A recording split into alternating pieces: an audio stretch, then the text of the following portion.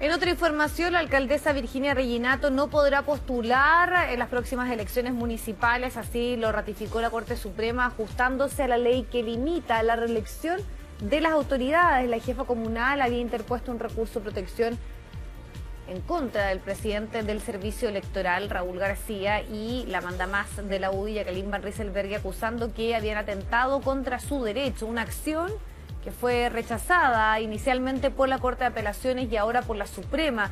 De esta forma, Chile Vamos deberá definir su candidato a la alcaldía Viña Marina, pero sin la opción de las primarias legales. Reginato fue concejala de Viña del Mar desde el año 92 hasta el 2004, cuando asumió como alcaldesa.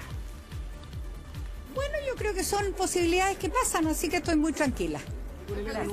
Igualmente seguir en el servicio público eh, desde otro ámbito tal vez? Mira, lo único que les quiero decir que yo estoy feliz como alcaldesa, voy a seguir trabajando hasta el último día como la alcaldesa, para eso me eligieron y por supuesto veremos después qué pasa.